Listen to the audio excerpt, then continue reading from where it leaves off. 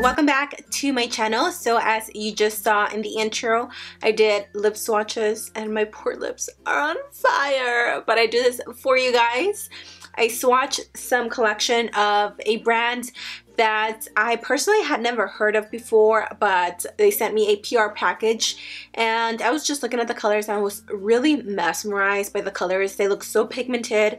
When I opened the wand it looks so creamy and so velvety and I decided why not throw a video. So I hope you guys enjoy the swatches. If you guys have any questions please let me know. I am so in love with these liquid lipsticks. They feel so comfortable on the lips. Overall, I think the quality is amazing. It's really, really good. Literally, as you guys saw, one swipe and pigmentation was on baby. I did not have to go over it twice. The only one that I did notice was a little bit patchy was the last one which is called Majesty. Honestly it's to be expected though. Any color that is a dark purple dark burgundy just very dark vampy colors tend to be a little bit streaky in my personal opinion. I've tried uh, a lot of liquid lipsticks and they all seem to be a little bit patchy but it's so comfortable that I really don't mind like layering a pencil underneath and then just rocking the shit out of this lipstick. So yeah um they're very comfortable. Again very lightweight very lightweight on the lips. They're not overly drying. They do dry to a matte and the the formula I just can't get over the formula.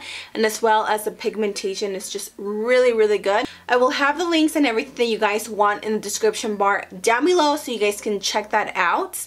And yeah I don't know. Oh yeah I want to talk about durability because I know I will get questions on this um, I honestly haven't tried them for too long but I am going to leave this local lipstick on right now and I'm just going to leave it on for a few hours. I'm going to eat drink eat some hot Cheetos.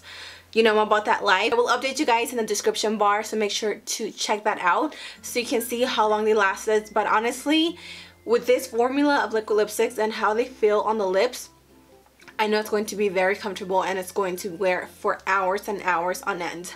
So yeah, I hope you guys enjoyed these lip swatches. If you did, don't forget to hit that like button. It helps me so much when you guys give it a like. And also don't forget that we are trying to reach 40 thousand subscribers. So please spread the word to your sister your mother your brother your grandma the abuelito everybody that you know. Just share my page if you love it and let them know to what's up and tell them to subscribe. I really hope you guys enjoyed this video again. I love you guys so much.